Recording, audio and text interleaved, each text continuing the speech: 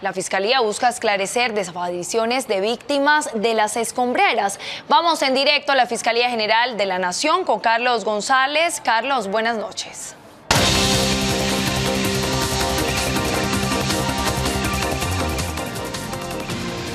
Hola Ángela, nuevamente buenas noches para usted y los televidentes. Pues en torno a estos dolorosos hechos, los cientos de desaparecidos que dejaron estas arremetidas de miembros eh, de bandas criminales, también de paramilitares y hasta de miembros de la fuerza pública que se vieron comprometidos con estas desapariciones ocurridas allí en eh, principios, a finales de la década de los 90, desapariciones causadas allí en esta población vulnerable de las comunas de, las comunas de Medellín. El fiscal ha dicho que lo que se intenta es es eh, tratar de minimizar ese dolor a las eh, familias de estas eh, decenas de víctimas y por eso la Fiscalía desde hoy y por un lapso, un tiempo de seis meses, pues va a tratar de hacer algunas excavaciones para tratar de hallar restos que lleven también a esclarecer estos hechos. Esto dijo el fiscal.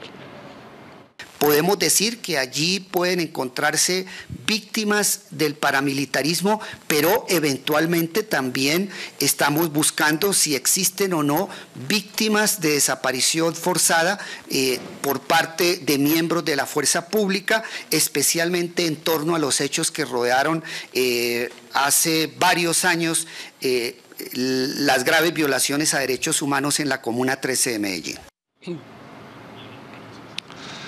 Ha dicho el eh, fiscal general eh, de la Nación, Eduardo Montealegre, que ya hay unos lineamientos plantados para tratar de dignificar y dar respuestas a las eh, cientos, a las decenas de estas familias víctimas de esas arremetidas, de las autodefensas, también de bandas criminales y de los miembros de la fuerza pública comprometidas con estos hechos. Un trabajo que empieza desde hoy, que repetimos, se va a prolongar por espacio de seis meses allí, en las vulnerables comunas de Medellín, exactamente en el sector de la escombrera.